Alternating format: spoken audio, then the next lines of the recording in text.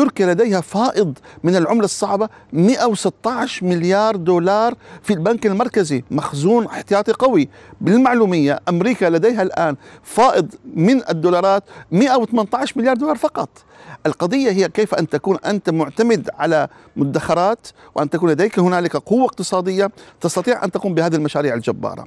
لذلك استهداف تركيا من الدول الكبرى لأن تركيا ستحل محل أحد هذه الدول. إذا أردت أن تدخل نادي العشرة الأقوى اقتصاديا سيكون على حساب دولة أخرى. ربما ألمانيا ربما أمريكا ربما دولة أخرى. وبالتالي تركيا تهدف أن تستمر في هذه الحملة على حملة المشاريع الجبارة المشاريع العملاقة. لدينا مشروع ما يسمى لأول مرة تركيا ستدخل نادي ما يسمى توليد الطاقة النووية السلمية. وهو مشروع من خلال مشروعين مشروع على البحر الأسود شراكة مع روسيا في مدينة سينوب على البحر الأسود بكلفة 22 مليار دولار ومشروع آخر على آه، البحر المتوسط في مدينة مرسين.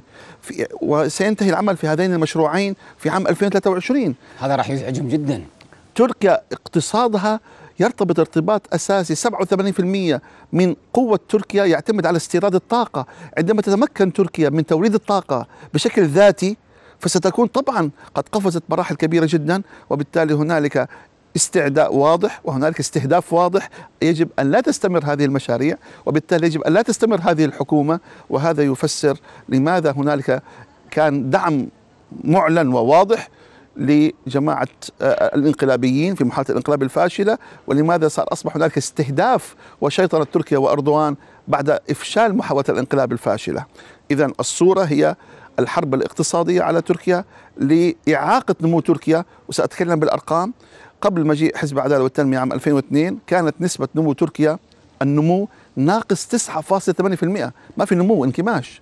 في أول خمس سنوات ارتفعت هذه النسبة لتصل 10.1% الآن نتكلم بعد مرور أكثر من 15 عام أو 16 عام الآن نسبة النمو وسطيا 5.1% وتعتبر هذه آه، أفضل دولة نمو في أوروبا مجتمعة تركيا رقم واحد وثالث أكثر دولة نسبة نمو بعد الهند والصين. ما شاء الله. طيب إحنا قلنا وأشرت إلى قضية الخزينة يعني آه، سوت توتر. رصيد الخزينة التركية عمل توتر للدول الراصدة بينما خزائن كثيرة في الإقليم أنت ترى كيف استهلكت بالحروب الداخلية وبالفتن بين الدول نفسها التي تملك يعني أرصدة كبيرة.